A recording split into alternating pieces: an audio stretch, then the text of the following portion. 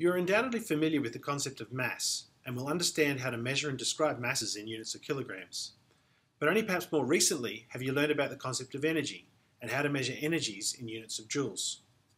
However, since nuclei are such tiny objects, it usually makes sense to use a different system of units when solving nuclear problems. Furthermore, since nuclear processes involve regular conversion between mass and energy, we will want to allow for the relationship between energy and mass. That is, we will need to use Einstein's equation, equals mc squared. On the macroscopic real-world scale, we generally use the units of kilograms for mass and joules for energy. An alternative unit for energy is the electron volt with the symbol EV. 1 EV is equivalent to 1.602 times 10 to the minus 19 joules and is equal to the amount of energy that a single electron receives as it accelerates through an electric potential difference of 1 volt. An electron is much closer to the scale of a nucleus than, for example, a brick.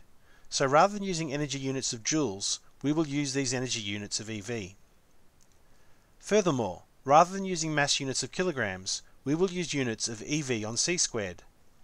We can do this because if we rearrange the equation E equals mc squared, we can see that m is equal to E on c squared, and hence the units of mass are equal to the units of energy divided by c squared. There is one last caveat. While an electron is closer to the nucleus than a brick, it is still substantially smaller than a nucleus. The typical energy scale for nuclei is actually millions of electron volts, so we will generally use units of, of 1 million electron volts, written and pronounced as MeV.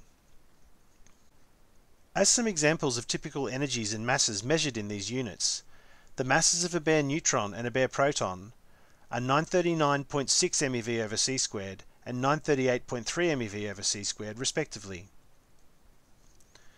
If we look at the alpha decay of polonium-212 into lead-208, we find that the energy of the emitted alpha particle is 8.95 MeV.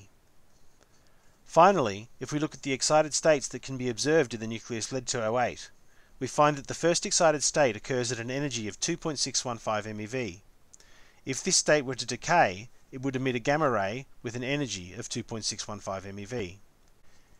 In textbooks and papers about nuclear and particle physics, the vast majority of the time you will find masses and energies described in terms of MeV, or sometimes other multiples of electron volts, such as keV, meaning thousands of electron volts, or GeV, meaning billions of electron volts.